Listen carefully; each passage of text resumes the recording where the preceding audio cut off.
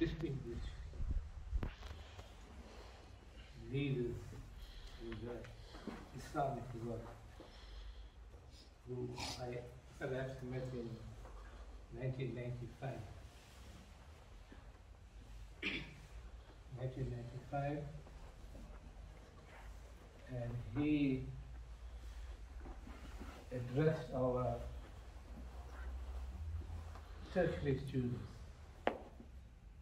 I think during that time you were not, I think, born. He came to meet us and West Street in Durban at a function for the tertiary students. He was the guest and he handed over the prize.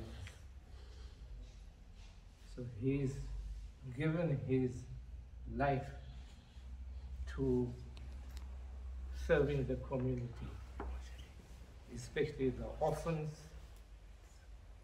widows, the aged, all over in the world and quite well known in the culture, in Islamic culture, when guests come into our home, when guests come into the center, they are like malaikas, angels that, that Allah sends. And secondly, from a hadith, we learn that when visitors come, evil, evil goes out of the house snakes and scorpions and so on. So Dr. Hany Al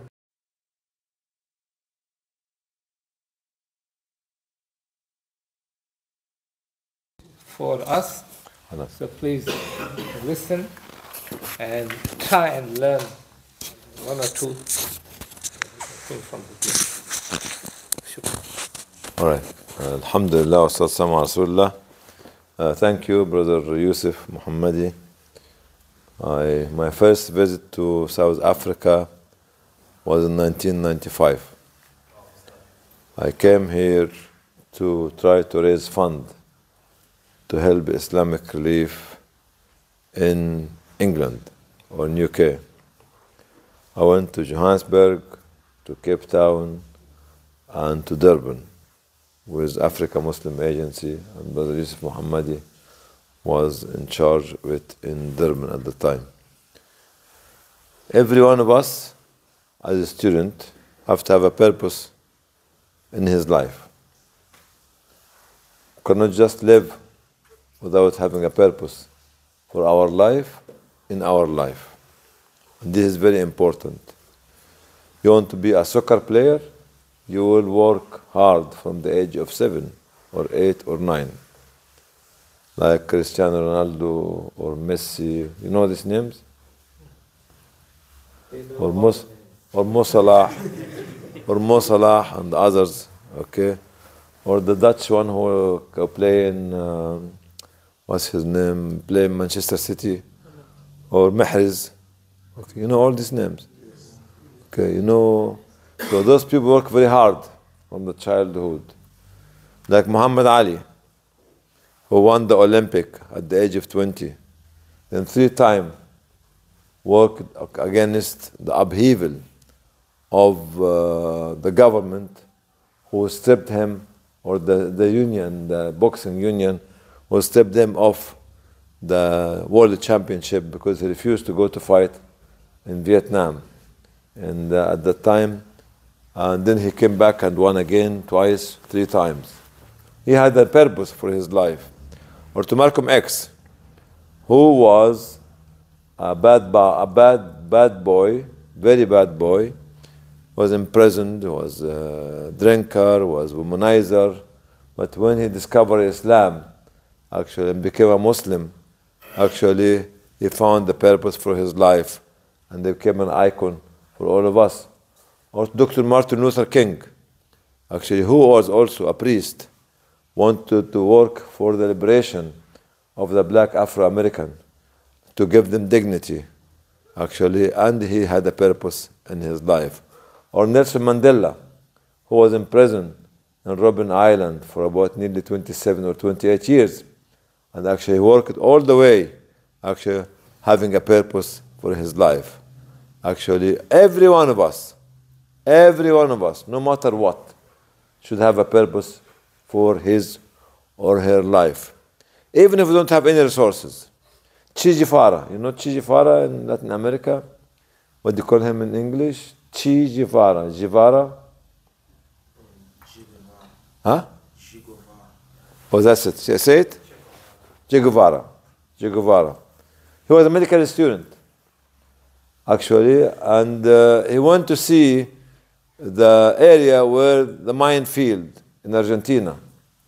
Found how badly the mine workers were treated, and he was very upset as a medical student. He was from a medical middle class family. The following year, he decided to hire a motorbike and to go around the whole of Latin America. Uh, and he discovered that why we are speaking the same language, having the same culture, having the same religion, having the same history, and we are divided. And they started to fight for the liberation of Latin America from the imperialistic power at that time. Then he came to Africa, spread his message. At that time, that somebody called Patrice Lumumba in Congo wanted to liberate Congo, actually, and put a currency for Congo. And actually, the, also the bad, evil power at that time killed him and divided Congo into two parts. Actually, uh, what is the name of the city? Uh, Congo Kinshasa and Congo Brazzaville. But Lumumba, not because he was not a Muslim, should not stand up for him, because he stood up for humanity. Many people, Muslims and non-Muslims, stood up for humanity because they had a purpose for their life. You cannot afford to live and let your life pass without having a purpose for your life. Ulama had purpose for their life. Sahaba had purpose for their life. Tabi'een had purpose for their life. All of them had purpose in their life for their life. That's why we remember them because they live to support and to protect and to educate and to save their communities. All those great heroes have purpose for life. Any one of you could become one of those people, better than Nelson Mandela, better than other people, as well as in, in Africa or actually in Latin America or any part of the world. So learning the deen is enough, but not good enough. Having hifz is good enough, is good, but not good enough. But having ilm is more important than having hifz. Hifz is the first step of ilm. Ilm is endless. Hifz, you can make the hifz, three, four hundred pages of the Quran. Same for hadith. But knowledge is endless. Knowledge is endless. Knowledge is endless. You know, if you have, do you have uh, telephone, mobile phone? Do you have mobile phone? Do you know something called algorithm? Huh? Huh? Yes?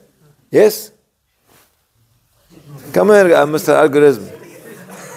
Um, stand up. Algorithm, you know algorithm? I know the word. You know the word. What does it mean? I don't know the meaning, but I know the word. Anybody knows what does it mean? Huh? You know algebra?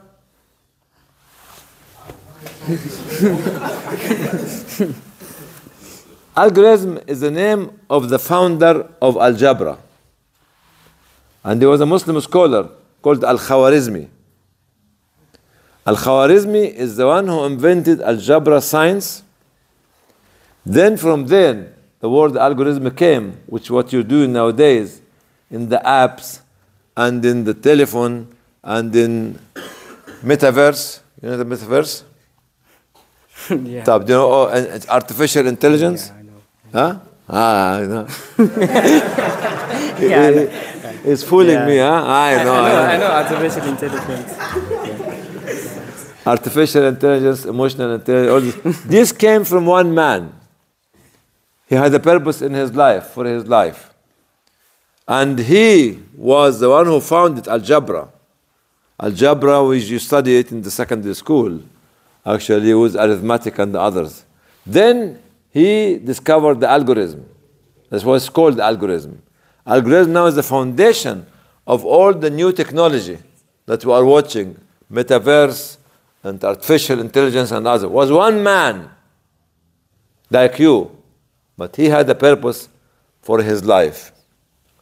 Avicenna, which is Ibn Sina, one of the greatest scholar, medical scholar in the history of humanity.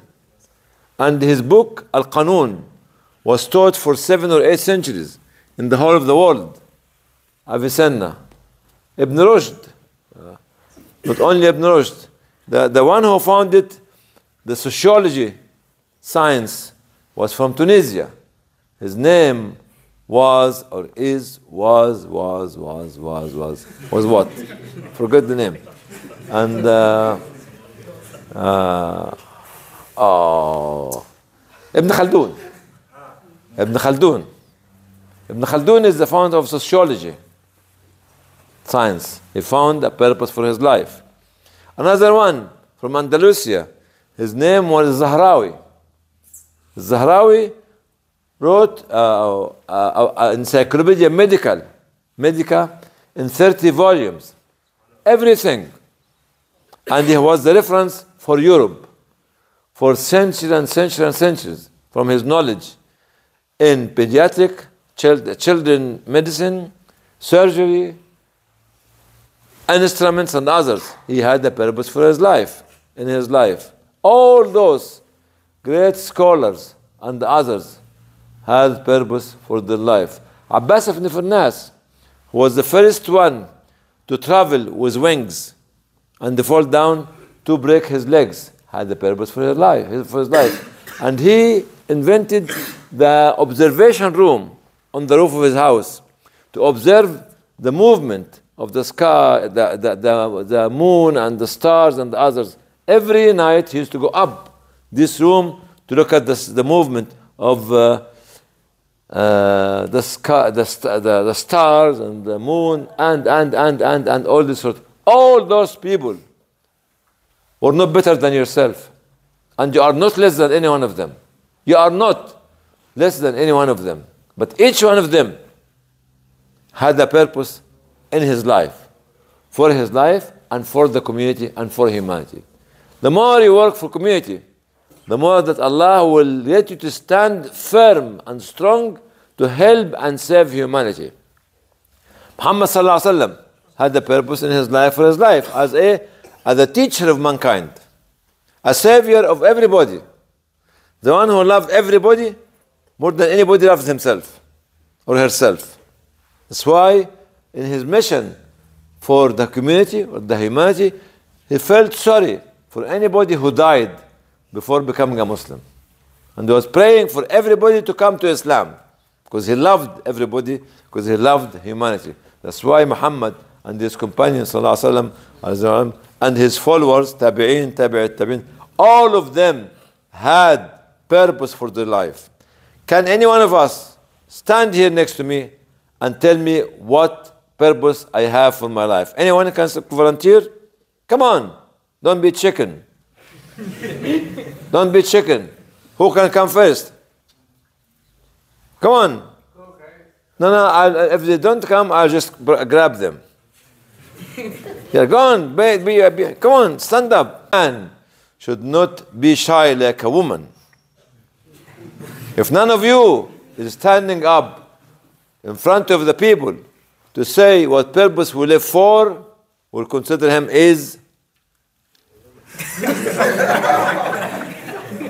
Come on, anyone? Come on, brother.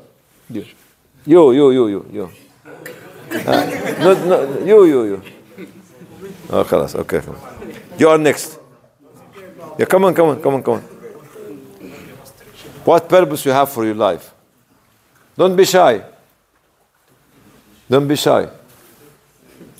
I don't know what's my purpose.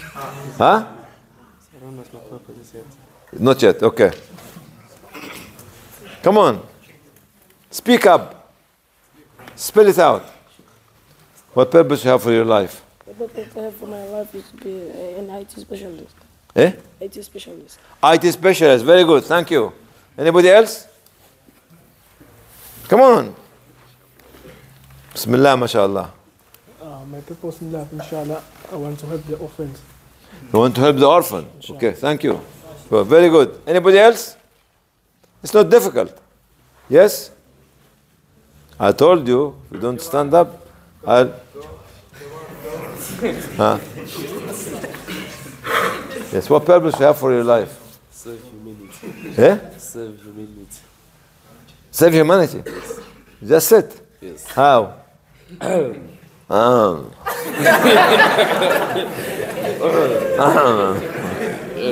That's a microphone there. Save humanity, okay. My purpose in life is that I want to change the world into a better place. In many ways. Like. Give me one way. He wants to change the world and make the world a better place. Very good. Like supporting the poor. Supporting the poor Yes. and giving. Zakat and dawah. Very good. Thank you. Anybody else? Yeah. No. Anybody else? Come on. Come, Musa. His, his name is Musa? Smith. Huh? Sa'ad. Saad. What purpose you have for your life? I want to become a teacher. Teacher. Teaching what? Which subject? English. English. Very good. Very good. Very good. Okay. Anybody else? Anybody else? Anybody else?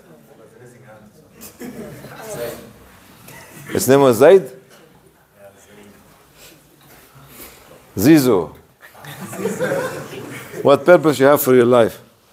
Man, my purpose in life is to, Huh? to give dawah To give da'wah. To whom? to disbelievers. Okay, very good. Thank you. Anybody else? Anybody else? This is the first step of having a purpose for your life.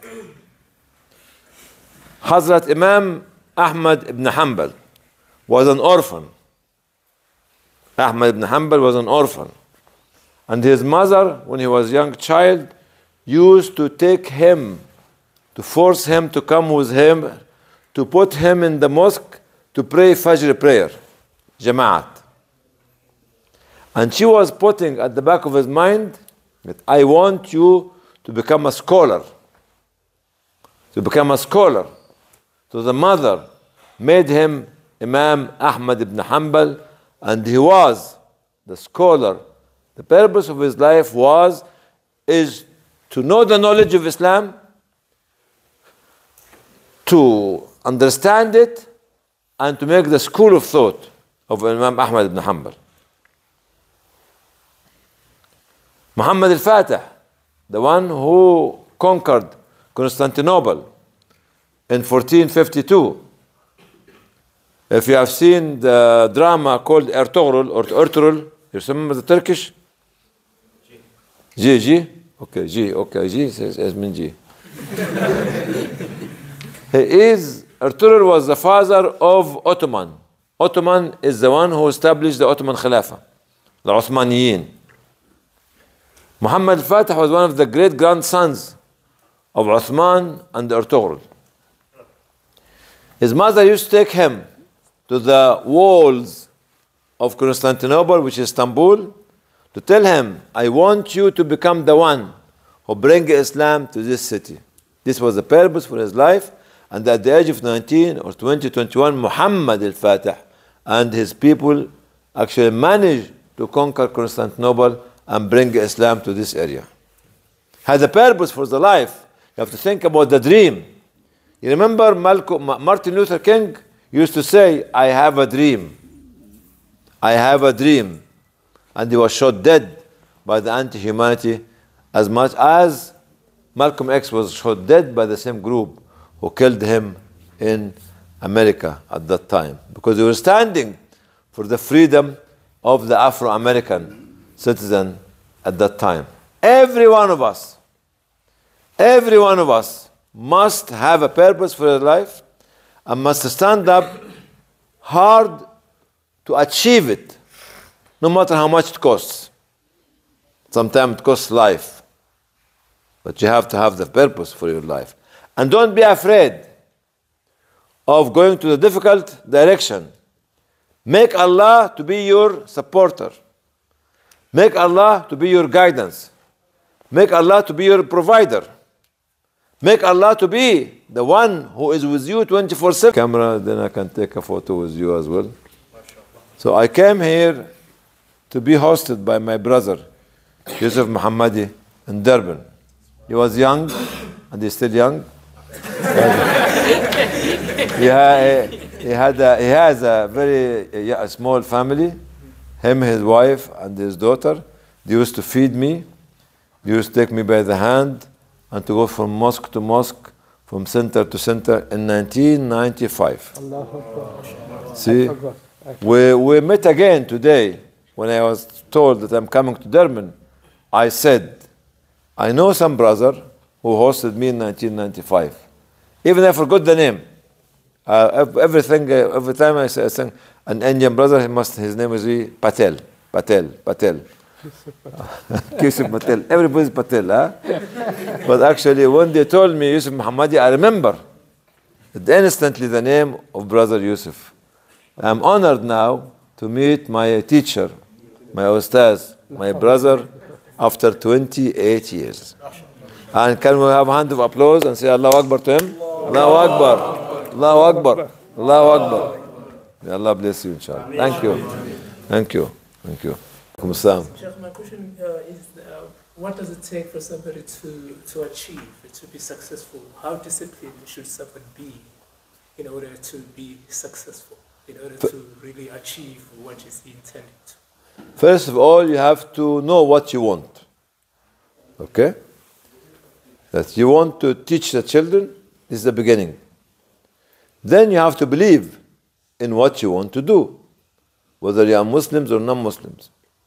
Then you have to be very focused in looking after achieving what you want.